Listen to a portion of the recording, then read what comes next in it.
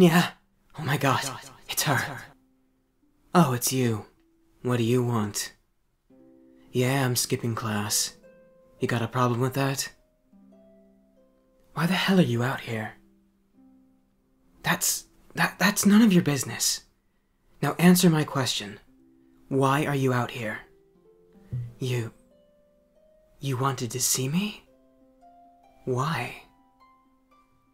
Because you think I'm lonely?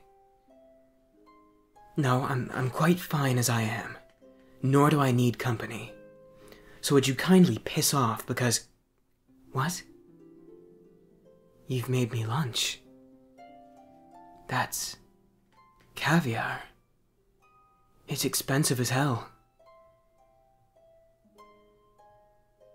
You know it's my favorite. How did you know that? Well, that doesn't matter. You're alright for a human. Now you want to know why I'm out here. You wouldn't care anyway, so why should I tell you? You do care. Well, it seems you're both a drooling Neanderthal and a liar. What?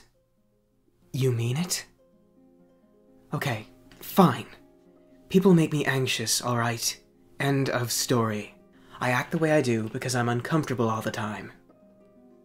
Speaking of which, why are you moving closer?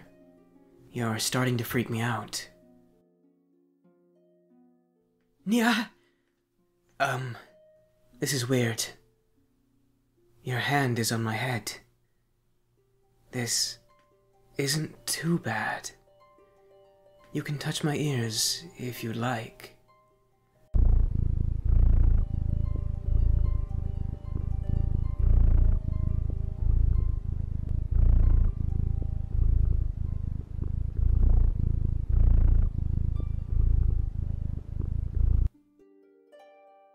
That, uh.